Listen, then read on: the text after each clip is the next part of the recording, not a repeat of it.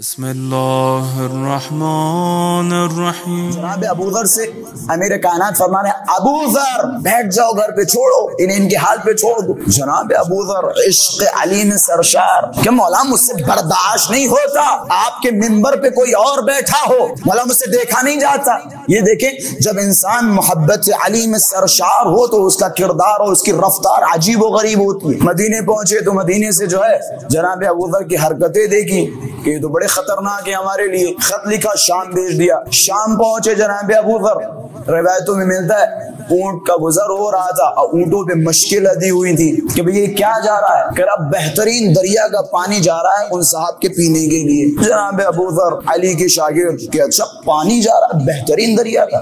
کہ لا چاقو لا چاقو لیا مار دیا مشکوں پہ۔ کہ دیکھو بھئی شراب ہے یہ۔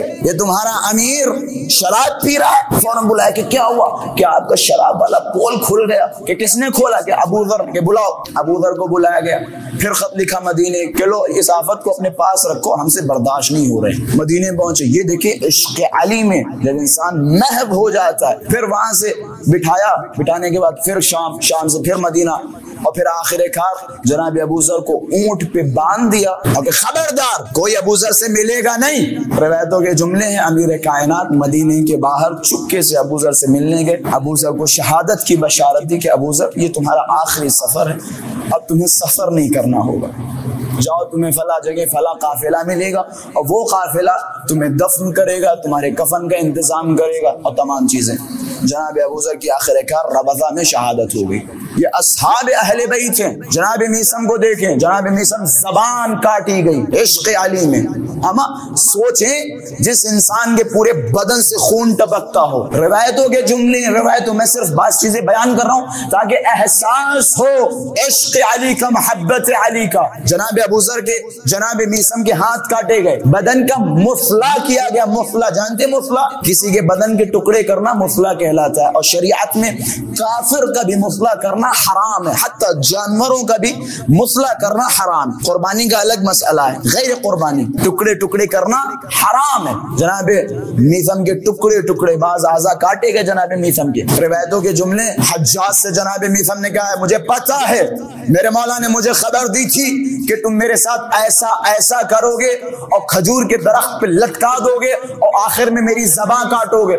حجاج دیکھ رہا ہے۔ سنتا رہا سنتا کس کے ہنسا کہ میں ثابت کروں گا تمہارا مولا جھوٹا ہے۔ کہ میں ثابت کروں گا کہ تمہارا مولا جھوٹا ہے۔ کہا گیا، جاؤ مشن کو لٹکا دو، پیروں کی نسوں کو کاٹ دو۔ پیروں کی نسوں کو کاٹ دیا گیا۔ اب ذرا تصور کریں، اگر کسی انسان کی پیروں کی نسوں کو کاٹ دیا جائے، تو ظاہر سی بات ہے، خون بہ جائے گا۔ جناب مسم کو درخت پہ لٹکا دیا گیا، باندھ دیا گیا اور پورا بدن خون سے لت پت ہے۔ اب بھائی، جناب مسم کا بھروسہ ہے علی کی ذات پہ۔ جناب موسم، اس درخت میں میں بتانا چاہ رہا ہوں، عشق علی آسانی سے نہیں ملتا۔ آسانی سے نہیں ملتا، بس تھوڑی سی توجہات کا طالب ہے جناب موسم، اس درخت سے چلانا شروع کیا کہ لوگوں، سنو۔ فاتح خندق میرا مولا ہے۔ فاتح خیبر میرا مولا ہے۔ بستر رسالت پہ جو سویا وہ میرا مولا ہے۔ رسول اللہ جس سے محبت کرتے تھے وہ میرا مولا ہے۔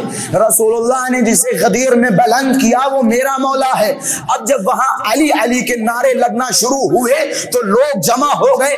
حجاج تک خبر پہنچی۔ حجاج نے کہا، بھائی، کیا ہو گیا؟ ہمارے اس دربار میں، ہمارے اس ماحول میں جہاں ہم نے پابندیاں لگا رکھی ہیں، جہاں علی کے نام پہ کوڑوں کی سزا معین کر رکھی ہے، ایسا کیا ہوا؟ ہمارے اس ماحول میں علی علی کے نعرے لگ رہے ہیں۔ اب آواز آئی کہ ذرا دیکھو تو تمہارا وہ میسم ابھی بھی زبان کھولے ہوئے ہے۔ اب حجاج سے برداشت نہ ہوا۔ حجاج نے کہا، جاؤ، میسم کی زبا کاٹ دو۔ اب جیسے ہی جناب میسم کی زبان کاٹنے کے لیے آئے، پھر کہ دیکھو لوگوں سنو میں نے جو شروع میں کہا تھا نا، اب میں نے ثابت کر دیا کہ میرے مولا سے سچا دنیا میں کوئی نہیں ہے۔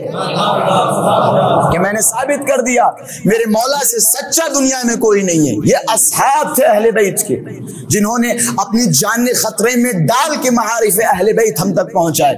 یہ فضائل و مناقب ان اصحاب کی وجہ سے ہم تک پہنچے۔